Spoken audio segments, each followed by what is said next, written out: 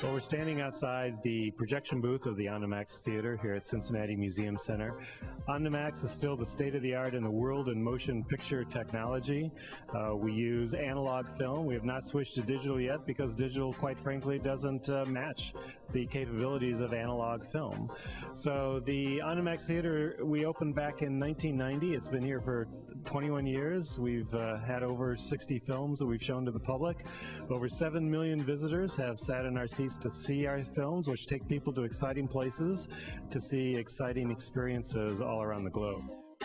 So the beauty of the Omnimax Theater experience is that we project the film onto a giant dome screen. In our case, it's a 72 foot wide, five story tall dome screen. And the advantage of that is it puts you in the middle of the action. And because of that, it's very different from watching something on television because you're literally looking all around you to see the experience. Uh, the shots last a lot longer for you to have a chance to uh, soak in what's happening around you, and it creates for quite, a, quite an experience. Well, the Omnimax Theater is ideally located, of course, in Museum Center and is part of the overall package of multiple museums and special exhibit galleries.